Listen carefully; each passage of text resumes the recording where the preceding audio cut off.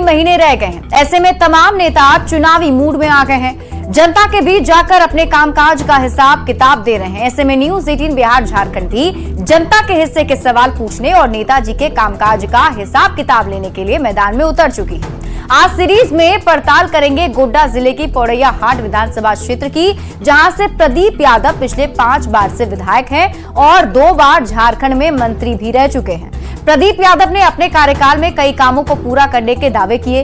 उनके दावों में कितना दम है? इसको लेकर हमने पौड़ैया हाट की जनता से बात की है। देखिए हमारी ये पड़ताल।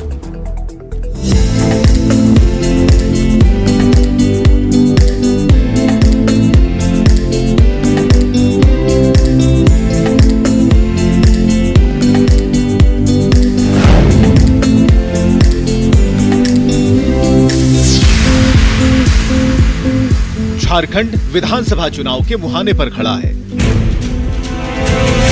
मुख्यमंत्री, मंत्री, एमएलए, पक्ष, विपक्ष, तमाम दलों के नेता एक बार फिर झारखंड के राजनीतिक अखाड़े में कूद गए हैं। हर कोई अपने पाँच साल के काम के दावे कर रहा है। हर मंत्री और विधायक पिछले पाँच साल के काम को गिनवा रहे हैं। एमएलए के हिसाब किताब में आज पारी है, गोड्डा ज़िले के पुड़ैयाहाट से विधायक प्रदीप यादव।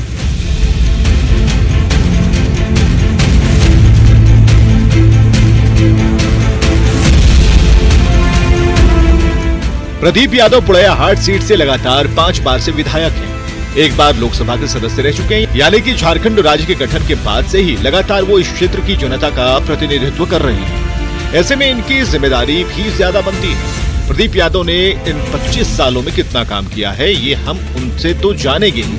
लेकिन उनके दावों की हकीकत हम जनता से भी जानेंगे कि वो जो काम के दावे कर रहे हैं, क्या धरातल पर उतना काम हुआ है, या फिर पुड़ैयाहाट की जनता को आज भी विकास का इंतज़ार है।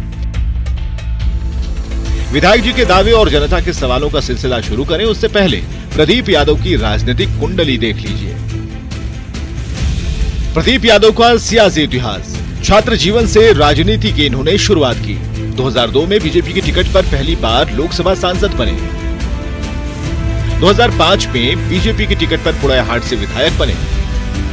2007 में बीजेपी छोड़ जेवीएम में शामिल हो गए। बाबूलाल मरांडी और अर्जुन मुंडा सरकार में मंत्री बने। 2020 में जेवीएम को छोड़कर कांग्रेस में शामिल हो गए। लगातार पाँच बार पुड़ैयाहाट से विधानसभा चुनाव ये जीत रहे हैं।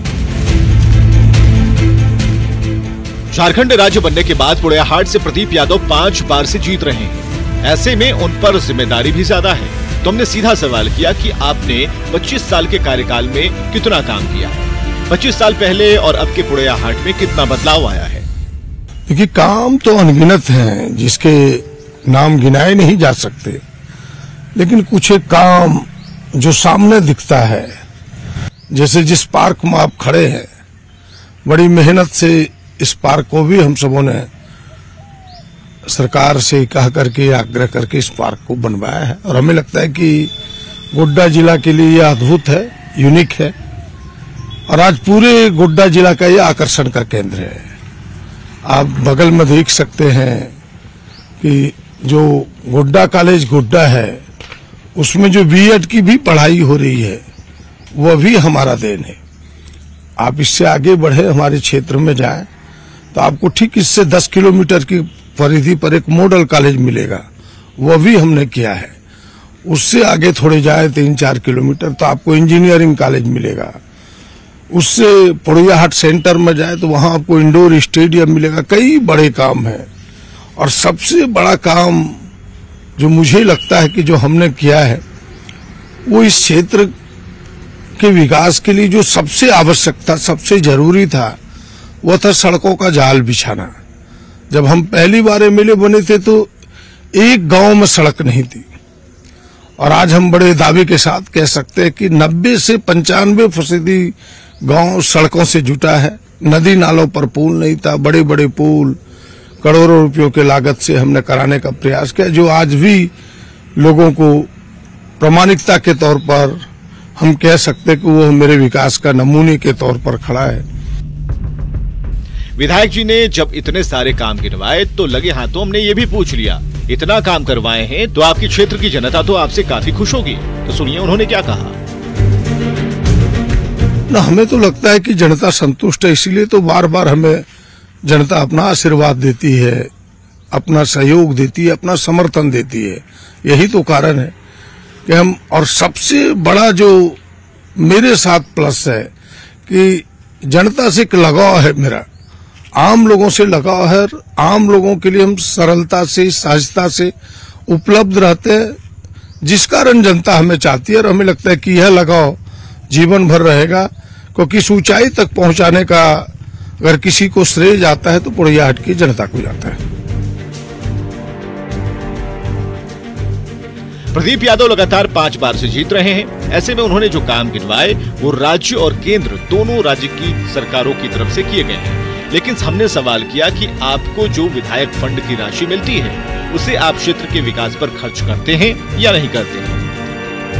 हमारी जो क्षेत्र की ज़रूरत है, हमें लगता है कि यह राशि भी कम पड़ जाती है।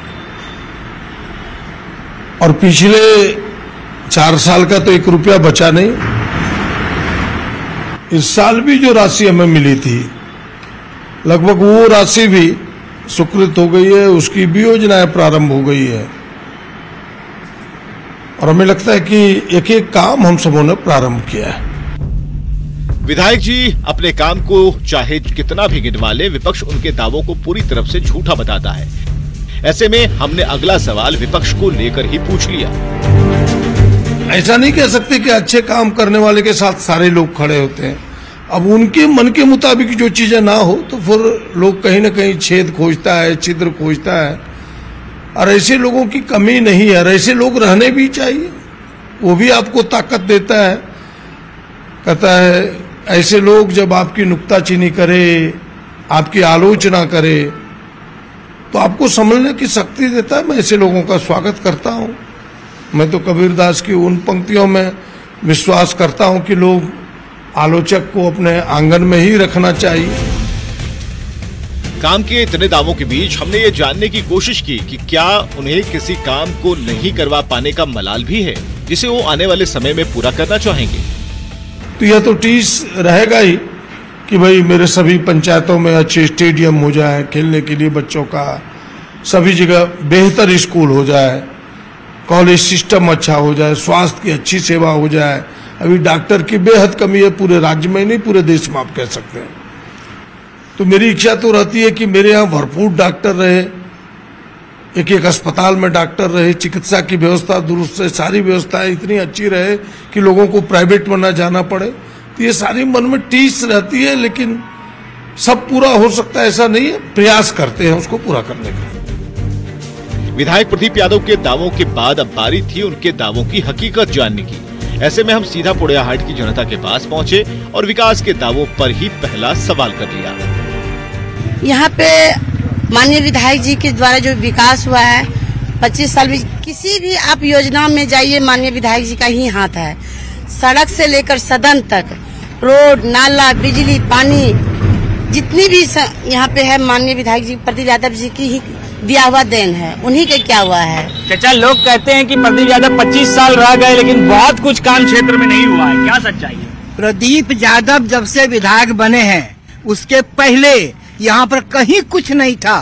और जब से बने हैं तब से आज तक जब भी कोई सड़क जाइए किसी स्कूल को देखिए किसी बात पुस्तकालय को देखिए कहीं कोई काम देखिए।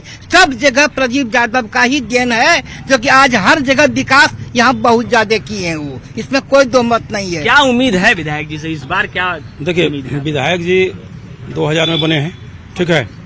तो 2000 के पहले इस पोड़ियाहाट बाज़ार को आप देख रहे हैं ना एक ट्रांसफार्मर था। अभी इस क्षेत्र में कम से कम तो पाँच हज़ार ट्रांसफार्मर लगवाए हैं। यानी विद्युत पे आत्मनिर्भर बनाए हैं लोगों को। इस क्षेत्र में जितनी भी नदियाँ थी, पुल कहीं नहीं था। सारा पुल बनवाए हैं विधायक जी। आप ग्रामीण क्षेत्रों में जो पीसीसी रोड जाने के लिए कहीं नहीं था, कीचड़ था, कादो था, पशु फंस जाता था, आदमी की तो बात ही दूर है। वहाँ पर पीसीसी रोड बनवाए, स्टेडियम बनवाए, बच्चों को खेलने के लिए पार्क बनवाए। पुड़ियाहाट के शहरी इलाकों की पब्लिक तो उनके काम से खुश दिखी, लेकिन इसके साथ ही विधायक जी से कुछ डिमांड भी कर दी। मंत्री बन जाए हम लोग का और यहाँ पे ग्रेजुएशन कॉलेज बनना बहुत ही ज़रूरी है। उम्मीद करते हैं भैया ग्रेजुएशन कॉलेज यहाँ बनवा देंगे। शहरी इलाके के बाद हमने ग्रामीण क्षेत्रों का रुख किया तो यहाँ की पब्लिक की राय शहरी इलाके की पब्लिक से काफ़ी अलग थी। उम्मीद क्या रहेगा? आज 25 साल से तो उनको पड़ियाहाट की जनता देख ही रही है। आज तक तो जो है आप देख ही रहे हैं पड़ियाहाट में क्या बदलाव हुई है। और जो है स्थिति यहाँ का नर्क से भी बदतर हो गया है। आज तक 25 साल से हमारे यहाँ विधायक है वो मंत्री भी रहे हैं। आज तक बताए कोई पड़ियाहाट में अच्छा काम ऐसा किए हैं जो कि याद उनका नाम लेके आदमी याद रखेगा। वो तो कह रहे इंजीनियरिंग कॉलेज हो गया बीएड कॉलेज हो गया स्टेडियम बना दिए सड़कों का जाल बिछ रहा है। कहाँ कौन कॉलेज वो बनाए हैं? कौन इंजीनियरिंग कॉलेज बनवाए हैं? वो तो बीजेपी सरकार में बनी हुई है। वो अपना उपलब्धि बताए, एक बोलिएगा तो एक स्टेडियम है, इंडोर स्टेडियम। उसके अलावा तो उनको बताने लायक और एक कोई भी चीज़ नहीं है। आप सड़क जाइए, गाँव देहात का शहर, सड़क जाइए देखिएगा कि इतना जर्जर है। आज सड़क बनती है और छह महीना के अंदर वो सड़क जो है ध्वस्त हो जाता है, क्योंकि उनका यहाँ ठेकेदार का ही बसेरा है। आम पब्लिक के लिए तो उनके क्या पास उम्मीद है प्रदीप यादव प्रदीप यादव से हम लोग यहाँ की जनता कोई उम्मीद नहीं रखते वो मतलब विकास का मतलब विकास का तो केवल उनके पास विकास सब है लेकिन विकास धरातल पे उनके पास नहीं है। अब एक साधारण सा एक हॉस्पिटल ले लीजिए। अभी साधारण सा पब्लिक को कुछ हो जाता है तो यहाँ डायरेक्ट यहाँ रेफर कर दिया जाता है गोड्डा। तो हम लोग यहाँ रेफर करने के लिए है। पढ़ाई से लेकर बेरोजगारी को लेकर जब हमने यहाँ की जनता से सवाल किया तो प्रदीप यादव पर लोग सवाल दागने लगे। और रही शिक्षा की बात, शिक्षा के बाद यहाँ के लड़का लोग को जाना पड़ता है बाहर पढ़ने और 25 साल से वो विधायक है तो यहाँ के लड़का लोग को क्यों जाना पड़ रहा है बाहर पढ़ने यहाँ का मजदूर लोग को पलायन हो रहा है, क्यों हो रहा है? अगर वो अगर कुछ करते तो यहाँ का तो मजदूर को पलायन नहीं होता। बाहर कमाने लोग नहीं जाते। प्रदीप यादव के काम के दावों और उन दावों पर जनता की राय जानने के बाद इतना तो तय है कि यहाँ की जनता की राय प्रदीप यादव को लेकर अलग अलग है। ऐसे में उनके दावों पर जनता अपनी मुहर लगाती है या नहीं, ये तो चुनाव के नतीजे बताएँगे। तो फ़िलहाल एमएलए के हिसाब किताब में इतना ही। अगली बार किसी और विधानसभा में किसी और विधायक के कामकाज का हिसाब लेंगे एमएलए के हिसाब किताब कार्यक्रम में। बुढ़ाहाट विधानसभा से न्यूज़ 18 बिहार झारखंड के लिए गौरव झा की रिपोर्ट।